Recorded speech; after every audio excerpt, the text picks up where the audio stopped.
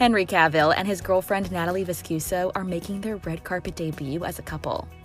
The pair stepped out for their first public appearance together in New York City at the premiere for the 39 year old actor's film Enola Holmes 2. Henry smiled affectionately as he gazed at his lady love while posing for pictures.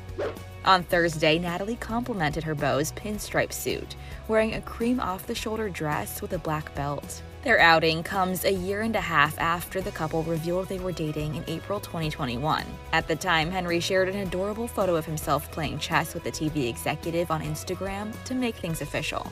Another bond he shares is the one he has with his co star Millie Bobby Brown. He opened up to Access Hollywood about their sibling like relationship at the event.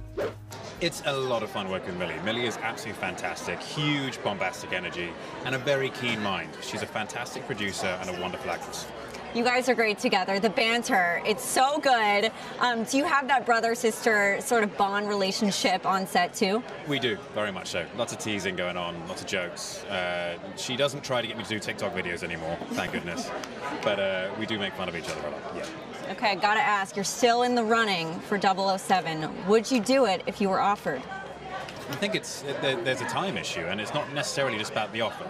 Um, it's about script, it's about director, it's about where they want to take the story. And Barbara and Mike are fantastic producers, and I have absolute faith in them. But it's it's always more than just an offer. Absolutely, and I gotta give you congratulations. Black Adam, you made your cameo. It hit 140 million at the box office worldwide. What did it mean to have The Rock fight for you to come back?